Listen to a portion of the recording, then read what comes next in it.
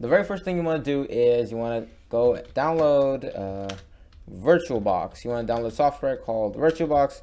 You've probably heard of this if you know uh, a little bit about all of this virtual machine stuff. Basically, the website is virtualbox.org. I'll link it in the description just in case, right? So you want to go ahead, and hit download VirtualBox 6.1, latest version. It doesn't really matter. VirtualBox is completely compatible. And you want to go ahead and click on Windows Host if you're in Windows or Linux if you are on Linux. But I assume most of us are on Windows. And if you're already on uh, Mac OS, then I mean, I don't know why you're going to do this, but I guess you can do it to run Windows.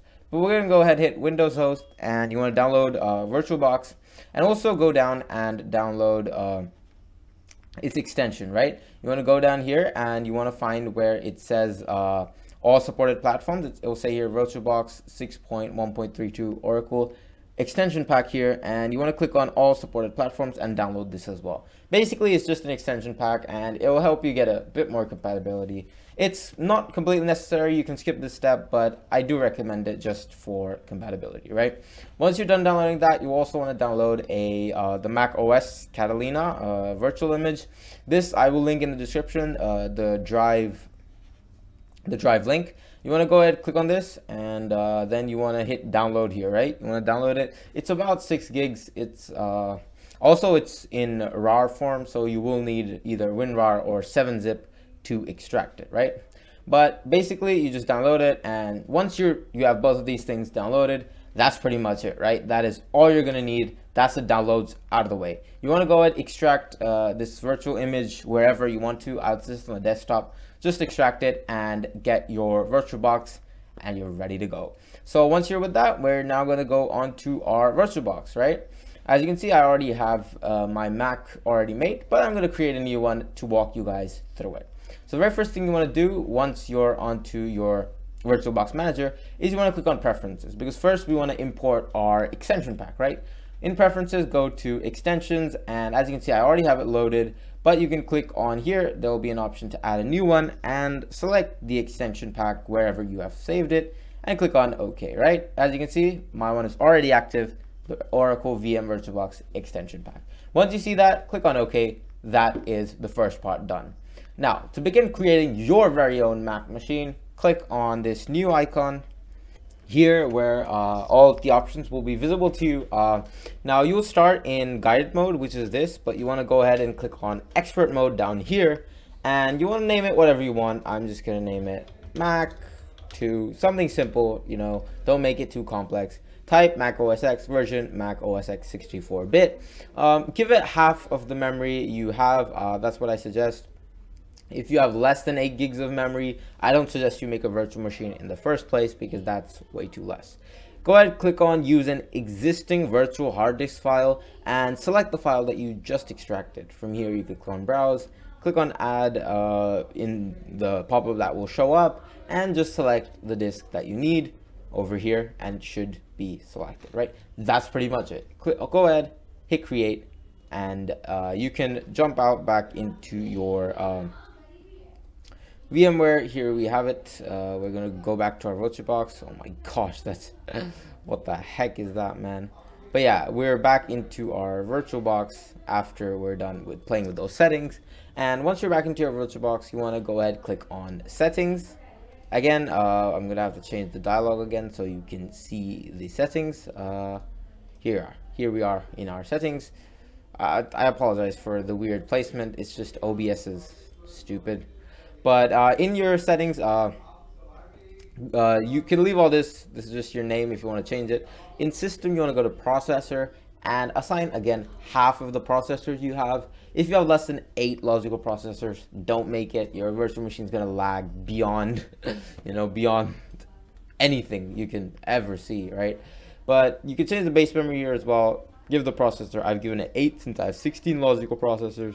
In the display, change it to 128, which is the max, because I'm assuming that you have more than 128 MB of video memory. I have 4 gigs, so I can give it well into 128, right?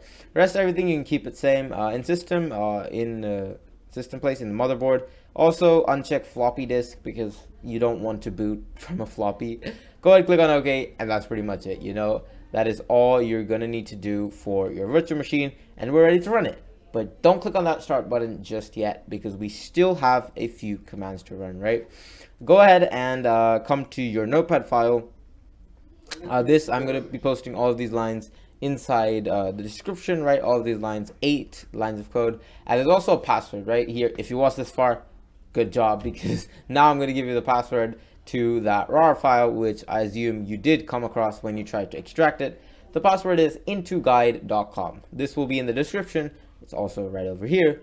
But now you want to go ahead, take each of the lines one at a time and put them into command prompt, right? Uh, you want to run command prompt as administrator just to show you guys uh, how it is. Let me just run as administrator and uh, go show you guys here. This is our, this is not thing.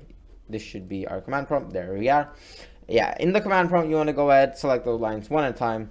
But before you select all those lines, there's one very key thing that you need to do, which you miss, it will not work. In the notepad, you want to click on edit and click on replace. The reason this is so important is because you need to replace my uh, Mac name with uh, your virtual machine name, right?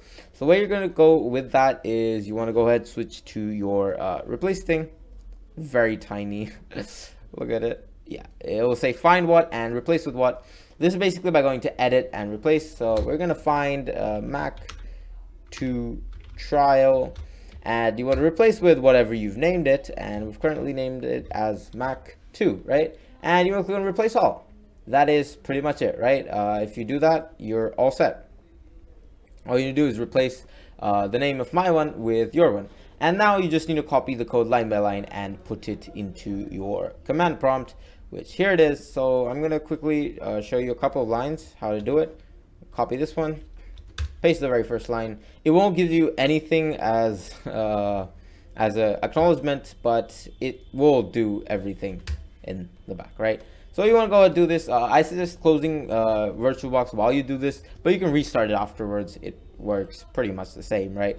But close it, do this, and now we're going to get to the other side. Okay, so as you can see, I've executed all of the lines, and that's all you need to do. Go ahead, close your command prompt, and jump back into your VM virtual machine. Uh, also, I would suggest closing uh, your virtual machine box before uh, you execute the lines. Like I would just closing it just in case the lines don't end up working. So if they don't work, close it, try it again, and it should be completely fine. But as you can see, I've done it, so I'm just gonna go and click on exit. Uh, must have left your screen. The screen is probably black now, but we're gonna hop back into it. There it is again, and we can now finally click on that beautiful start button to start up our Mac, right? Now, to show you how the Mac is looking right now, I'm just give me a second, I'll have to find it. Also, the reason I changed the resolution, uh, if you read the last line in the command prompt, I changed the resolution to 1920 uh, by 1080, which is an option line, but you can play around with it to change the resolution according to your needs. And here we have it. Here is our Mac. Looks terrible right now, I know, but you need to be patient. Uh, uh, the couple of things I want to show you here in the window is in the bottom right where it says right control. This is your host key. It's really important. And uh, basically what it does is once your cursor is stuck into your virtual machine, to get it out of there, you need to click on that host key, which currently is right control, so that you can get your cursor back into your actual machine, right? That's pretty much all uh, the host key really does. And that's pretty much it, you know? Now your Mac is going to do all the behind the uh, scene stuff. Welcome screen. Oh, here we are. that was faster than I expected. You can see my cursor as well over there, the little black thing. And here we have it. Uh, since I've already logged in, uh, it's already accepted mine, so I can just enter my password. Here we go, because uh, the ISO file was the same, right? The disk image VMDK file. Was it? Oh wait, was it wrong? Oh no, did I forget my password to my own Mac? What the heck? No, no, I don't think I did. but yeah, that's pretty much it, you know. Uh, on the first setup, you will have to go through downloading uh, your entire thing. It's going to take a little bit of time, but you're going to get through it, right? Here we have it, your brand new Mac inside your Windows computer. Absolutely insane. And uh, I, I honestly love it. I mean, it's just cool how you can just do this, you know. It's I hope you can see it, right? I'm just playing around a little bit with it. But it's really awesome. I mean, uh, I don't see why my icons are not showing up. It's a little bit slow, so I mean, that's a major drawback if you don't have a lot of RAM or a lot of uh, processors. Then I do suggest you don't really go for this. Uh, you could go for a Windows virtual machine as well. The reason that's really good is because you can run so many like alt account spammers in that for the Dank Memer stuff as well. But yeah, that's pretty much it. The same thing applies for Windows. You just need to find a Windows file and that is pretty much. Windows is easier than Mac OS since Mac OS is comparatively more secure and uh, annoying. but yeah, that's pretty much it. Enjoy your virtual machine. And if you did enjoy, do drop a like and subscribe. It helps a lot. And I'll catch you all later.